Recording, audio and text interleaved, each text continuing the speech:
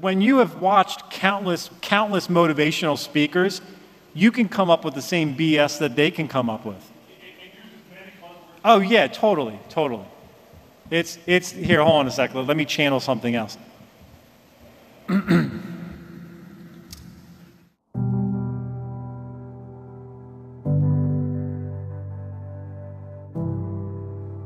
we have our top audio research scientists at work developing a theory for a method, for a plan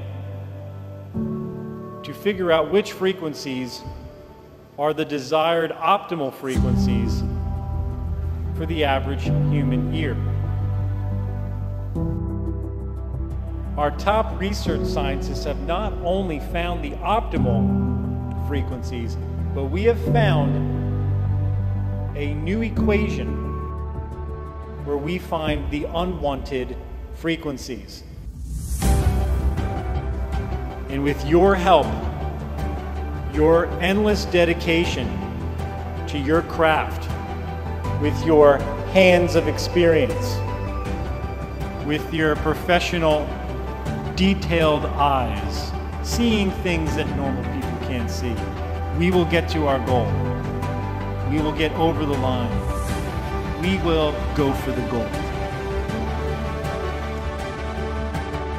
And therefore, my friend, I know that to some it's just another show site, just another gig, just another trip to the Bellevue.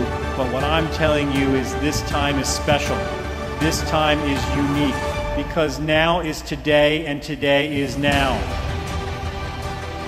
How are you going to live your life today as a technician? And I'm throwing down the gauntlet and telling you tech life to the fullest. Don't leave a day where you do not tap to the fullest. You there, AV technicians, no one understands you guys, but you know what? I'm here to say that I understand you guys. I understand that you have hearts. AV technicians are people who have hearts. And I'm saying right now, as your PM, have a heart. You can tech with a heart. Back in 1972, when I was a professional football player, I did not play with a heart. But when I became an AV technician, I discovered after grueling hours, when I put my 10,000 hours in, to tech with a heart.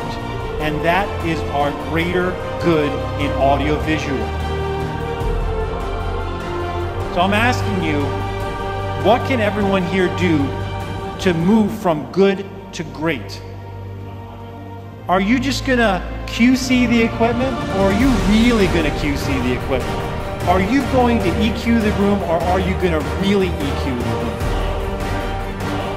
How are you going to get to that next level? Are you going to tape down that cable or are you going to make sure that sucker's straight? Therefore, we can all remember Devon Hall as the technician who took us there. You, sir, say that you knew Devon Hall. You do not know Devon Hall. We here at IMS know who Devon Hall is. Devon Hall was a great man. He was a technician, he was a mentor, he was a husband and a father. And every now and then he would blend a projector.